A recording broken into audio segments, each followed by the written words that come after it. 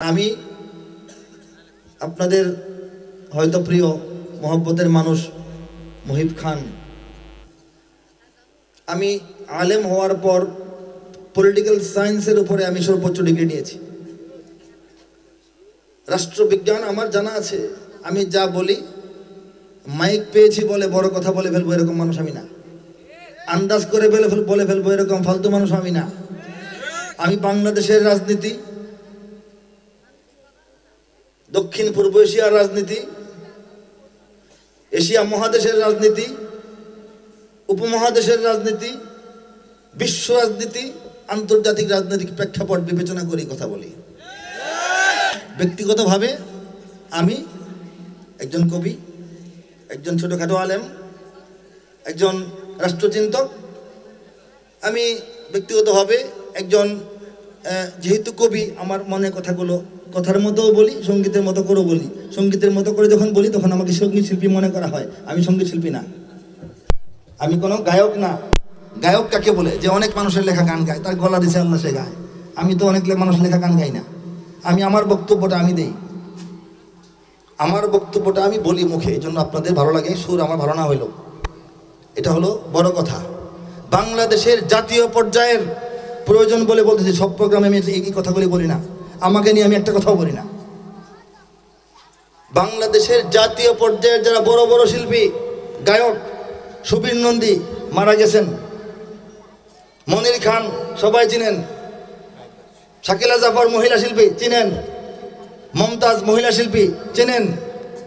কনক চাপা মহিলা শিল্পী চিনেন। আইয়ুব বাচ্চু মারা গেছেন, চিনেন। আগুন আছে এখনও, চিনেন। হায়দার হোসেন আছেন এখনও, চিনেন। ফাহমিদা নবী আছে এখনও, মহিলা শিল্পী, আপনারা চিনেন? আবিদা সুলতানা এখনও চিনেন? কারা কারা হাত তোলেন। হাত তুলবে না? হ্যাঁ এরা হচ্ছে ওই ওই লাইনের শিল্পী। কিন্তু ওরা আমার লেখা দেশের গান গেয়েছে। কেন গিয়েছে? কেন গাইতে দিয়েছি? এই যে, বলে যে উনি এই, উনি সেই, তার প্রোগ্রাম হবে না। আমাকে, তারা চেনে? দেশের দেশাত্মবোধিক বোধক সংগীত দেশ রক্ষা সংগীত আমার লেখা তারা গিয়েছে। বাংলাদেশের একটা রাষ্ট্র- রাষ্ট্রীয় বাহিনী আছে, আনসার বিডিপি, চিনেন কিনা সারা বাংলায় ছড়িয়ে আছে আনসার ভিডিপি আনসার সদস্য ভিডিপি সদস্য। আনসার ভিডিপি এই রাষ্ট্র, যে প্রতিষ্ঠানটি, যে সংস্থাটি, এই আনসার ভিডিপির দলীয় সংগীত এটার লেখক, এটা সুরকার আমি। কাজেই আমার জন্ম থেকে আজকে পর্যন্ত বাংলাদেশের কোথাও আমার বিরুদ্ধে কোনো অভিযোগ, মামলা তো দূরের কথা, নাই এবং হওয়ার কোনো কারণও নাই। আমার প্রোগ্রাম বাংলাদেশে কোথাও নিষিদ্ধ হয় নাই, বন্ধ হয় নাই, এরকম কোনো কারণও নাই। বাংলাদেশের বড় বড় গীতিকার, সুরকার যারা সিনেমার গান বহুত লিখেছেন, তরুণদেরকে দুষ্ট বানানোর গান বড় বহুত লিখেছেন কিন্তু যখন ষোলোই ডিসেম্বর আসে, একুশে ফেব্রুয়ারি আসে, ছাব্বিশে মার্চ আসে, বাংলাদেশের মানুষের সেই স্বাধীন বাংলা বেতার কেন্দ্রে সেই পুরনো দেশের গানগুলি এখনও বাজাইতে হয়। নতুন গান নাই। আমি মহিব খান বাংলাদেশের মানুষকে কিছু দেশের গান উপহার দিয়েছি। আমি এদেশে আল্লাহ আকবরে সুরে সূর্য ওঠে, এদেশে আল্লাহ আকবরে সুরে সূর্য ডুবে উপহার দিয়েছি। আমি ইঞ্চি ইঞ্চি মাটি উপহার দিয়েছি। আমি ইয়ে মেরা ওতান উপহার দিয়েছি। আমি আবার যুদ্ধ হবে উপহার দিয়েছি। আমি এটা বাংলাদেশ উপহার দিয়েছি। আমি বাঁচাও বাংলাদেশ উপহার দিয়েছি। এরপর কেউ যদি বলে প্রোগ্রামে উনি আসবে কি আসবে না, প্রোগ্রাম হবে কি হবে না, তার বিষয়ে আমার কিছু বলার নাই। কথা ঠিক? আমাদের জোয়ানরা যখন প্রশিক্ষণ নেন, অনেক সময় আমার এই সঙ্গীতটি বাজান এটা সঙ্গে সঙ্গে মার্চ পাস্ট করেন বলে আমি শুনেছি। ঠিক আছে?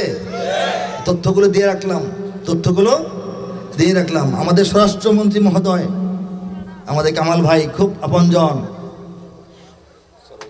উনি সোহরাওয়ার্দী উদ্যানে- উদ্যানে, ওই প্রেস ক্লাবে, ইঞ্জিনিয়ার্স ইনস্টিটিউশন মিলনায়তনে, উত্তরা স্কুল মাঠে সন্ত্রাস বিরোধী যতগুলো ক্যাম্পেইন করেছেন, আমাকে সাথে রেখেছেন। আমি উদ্বুদ্ধ করেছি মানুষকে দেশপ্রেমের চেতনায়। কাজে দুঃখ হয় যখন আমার নামে কোনো অপপ্রচার চালানো হয়। ঠিক না আমি কড়া বক্তব্য দেওয়ার জন্য এখানে আসে নাই। আমি শুধু বোঝার জন্য দু একটা কথা বলেছি। যদি আমার সাগরে আমার পাহাড়ে ফেরায় লোভের চোখ।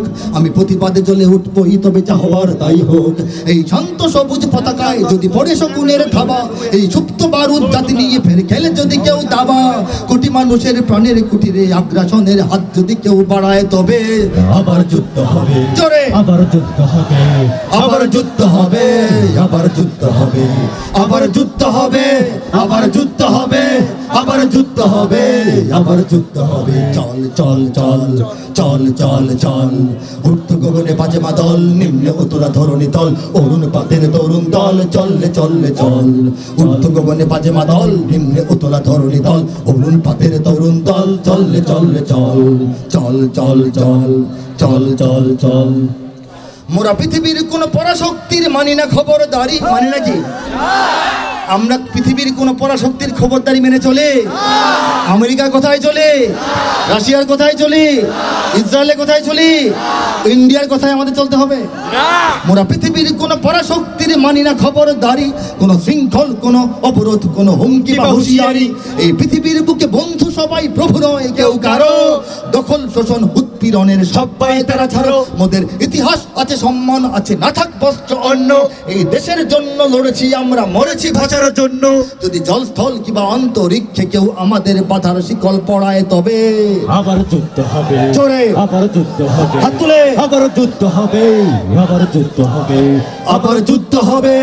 আবার যুদ্ধ হবে। আবার যুদ্ধ হবে, আবার যুদ্ধ হবে।